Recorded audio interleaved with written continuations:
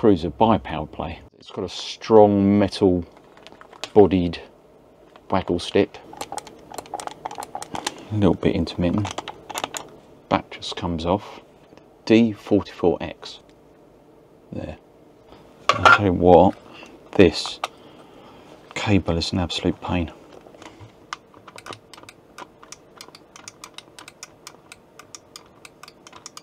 That's got such a nice action on it now.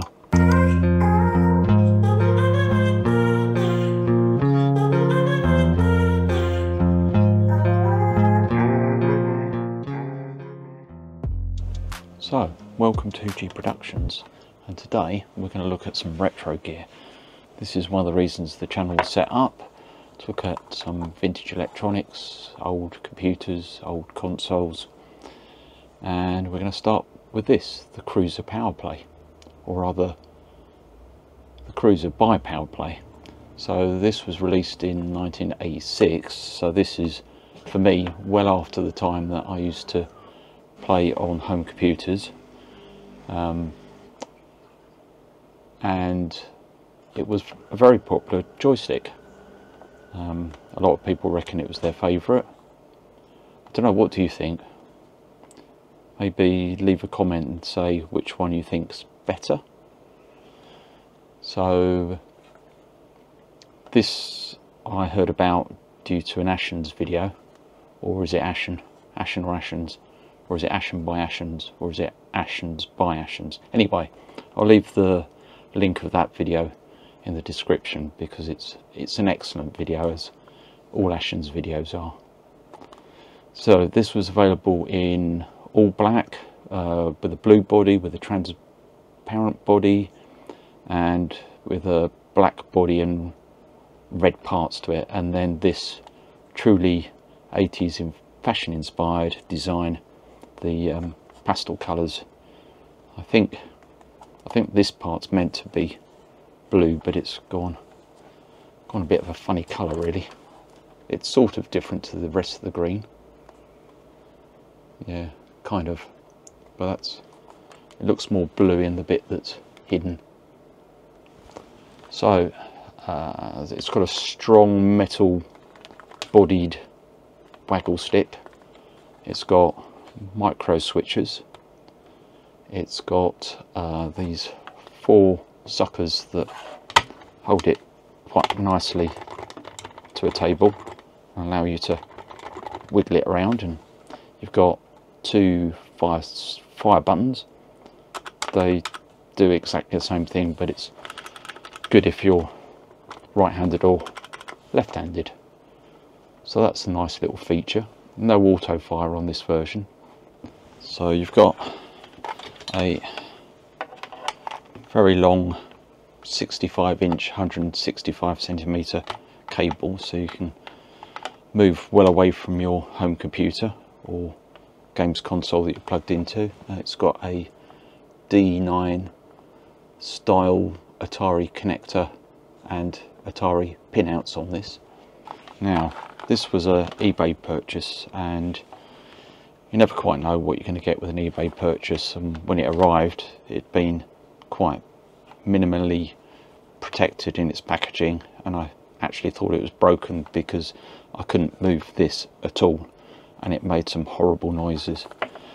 So I took the decision to pull it all apart and I cleaned all of this this area up and and I've lubed it all and now it's much better. It makes a bit of a bit of a creak, but it's nothing compared to what it was like. Uh, the other thing I haven't mentioned is this this collar here can twist round. So hidden here are there's three settings: one, two, and three.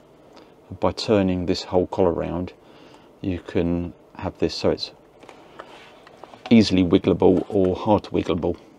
So let's try moving it down to, oh hang on, let's see if I can do that. So you've got this bit rotates, so that's down to one. And so it's got a bit of self-wiggling. So it's quite easy to move about. and I can move up to two and it's it's got more resistance and then I could move it to three. Then it's quite stiff and hard to move but it depends what suits you as a player really. I'm guessing that will probably be two for me. Now when I took it apart to check whether it was broken or not inside because the noise it made made me think it probably was um, I wasn't very impressed with the clickiness of the micro switches. And just about here. Some of them it's just not very nice. So I put together a little test circuit which is over here. And it just puts on various LEDs I'll switch the battery on will help. Got various LEDs for different movements.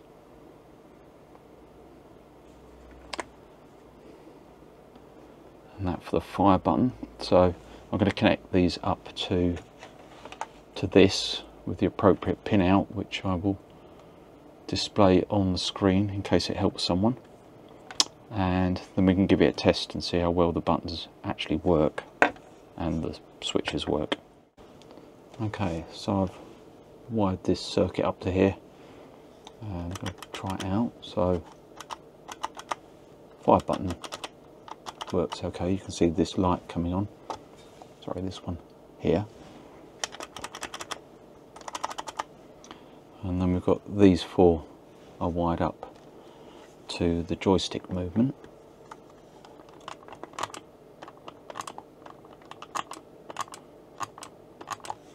That kind of works.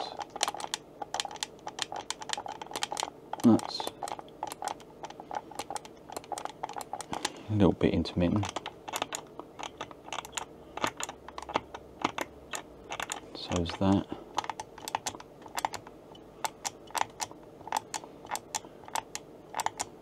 That's not too bad. They're a little bit iffy to be honest. So that was the decision that I came to a few days ago about it being iffy. So went online and searched up and these popped up as recommended micro switch replacements and these are DX44 D44X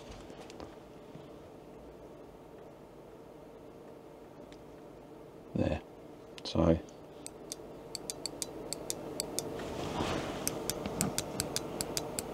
I've got a nice little click to them and they're brand new. And these ones are probably, I don't know, 40 years old.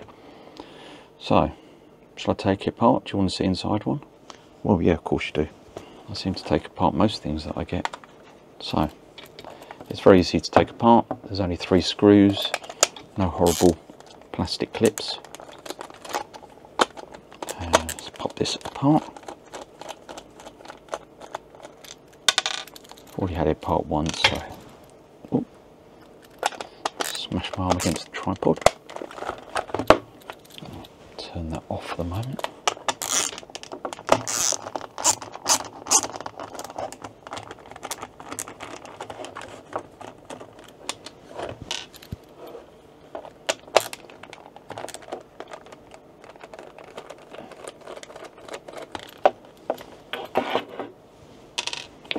so that's those three switches off. Back just comes off.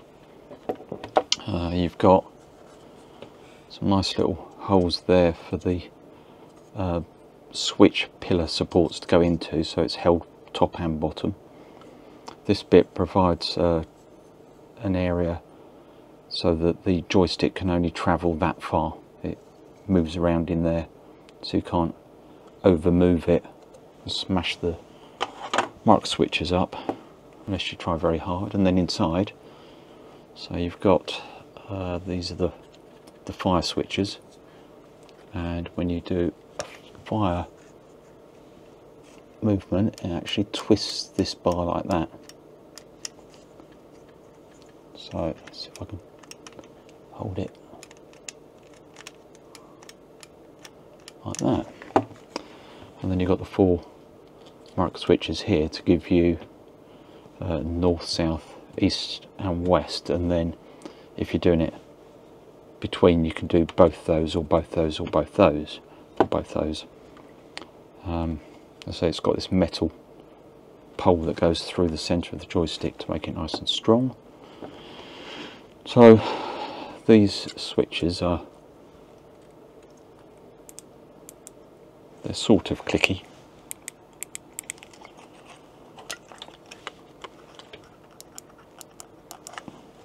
but not brilliant. That one's really ropey. And that one is not too bad but they really do feel like they're quite old now. So the idea is although this one's actually pretty good I'll replace them all. So I'm going to do that off camera because see this is going to end up. Oh, actually hang on. Now I can do it like this. I can get my arm round the tripod. So I'm just going to replace them one by one. It's the perfect one for one replacement. All of the fixings are the same. Just have an extra connection that we don't need. So I will do this on camera and then I will speed it up so that you don't have to sit through me faffing around with it.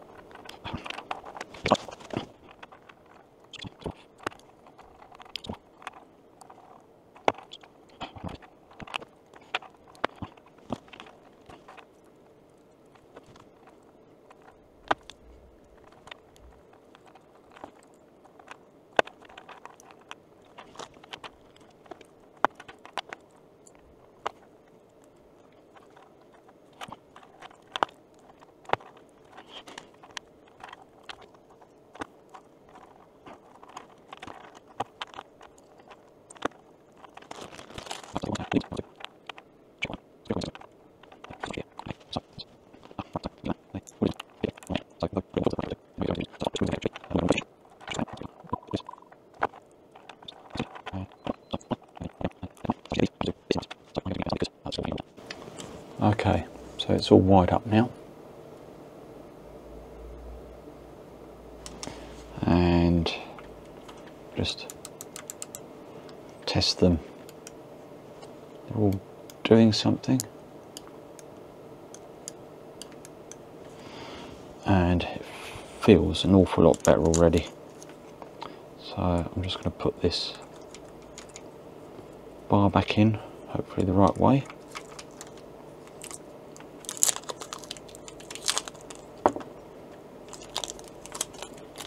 and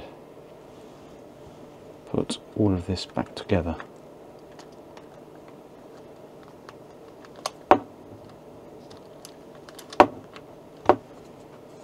Yeah, as I said earlier, there's the top of the posts that hold the switches in, go into the holes in there, so that makes it quite strong.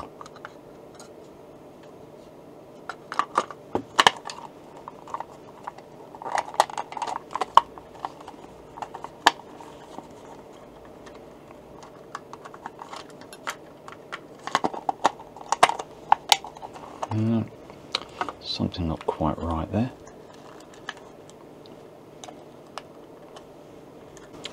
One thing I've just noticed is looks like there's a date stamp there. So this was 1988. Okay, so I've worked out why it's not going together. So there is a difference between the old and new switches and where is the switch the old switch had a connector there this one's got this quite big lump coming out here. And this moulding here is hitting it. It's not sitting down correctly. So I've got the choice of either removing that which is probably there for a good reason and bending that slightly. So I'm going to try bending that I think see if I can do that without breaking it okay so I've bent this around a bit and I think it might just go past that now. I'll tell you what this cable is an absolute pain. It just pops out the whole time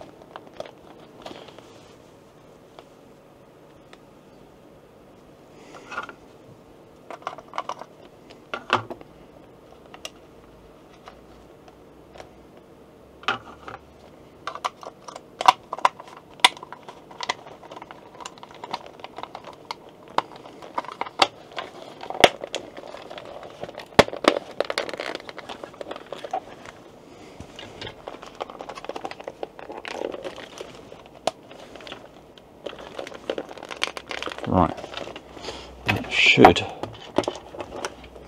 should be okay now. So let's try whizzing these back in.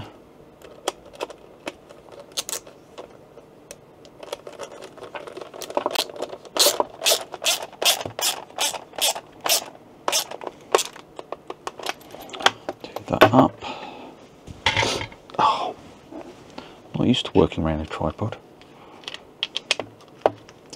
put these back in.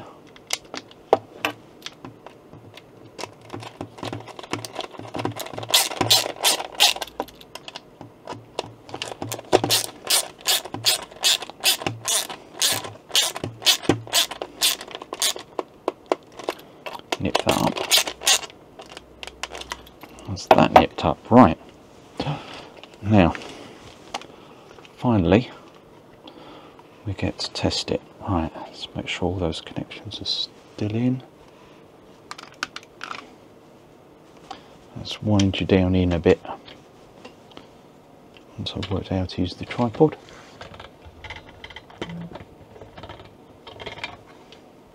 Right.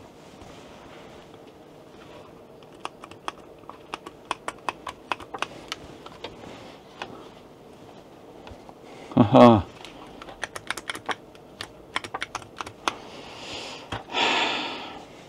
Fire button doesn't work.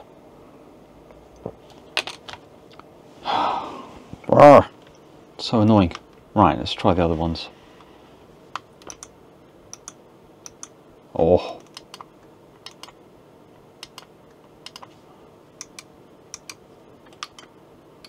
Oh, that's just so much better. That's really good. No more fighting against the joystick to get the lights to come on. Right, I'm going to fix this. So, uh, obviously I will speed this up.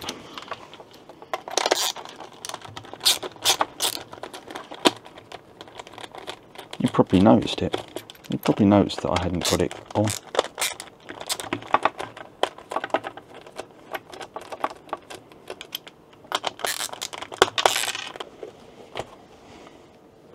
Right, Fought with it again and it's back together. Hopefully that's the last time I have to deal with that wire for a while. Screw it back up.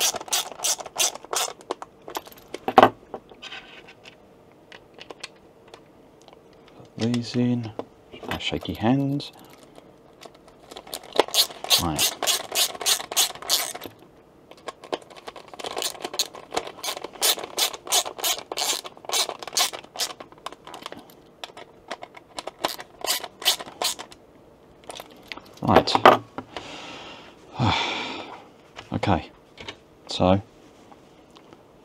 Cruiser PowerPlay joystick, new micro switches.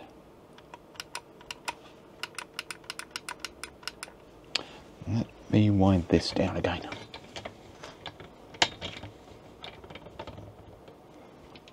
To there. Sorry, I'm still trying to learn how to do all this.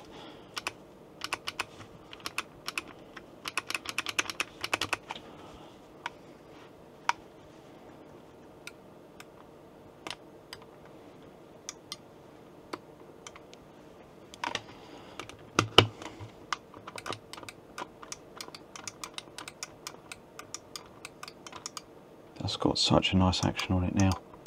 I'm really, really pleased with that. It's worth buying new switches for. Let's wind it up to three. Yeah, I don't think I'm heavy-handed enough to use a three setting.